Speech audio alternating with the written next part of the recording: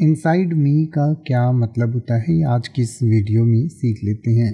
Inside me का मतलब होता है कि मेरे अंदर या मेरे भीतर, यानी कि मेरे अंदर या मैंने अंदर ही अंदर कुछ महसूस किया तो उसको हम इनसाइड मी कहते हैं। यानी कि inside me refers to something that is felt internally whether it is an emotion thought और सेंसेशन यानी कि चाहे कोई विचार है, कोई इमोशन है, कोई थॉट है, कोई सेंसेशन है, यानी कि कोई अनुभूति है जो आपको अपने शरीर के अंदर ही अंदर महसूस होती है तो उसके लिए आप इनसाइड में कहते हैं।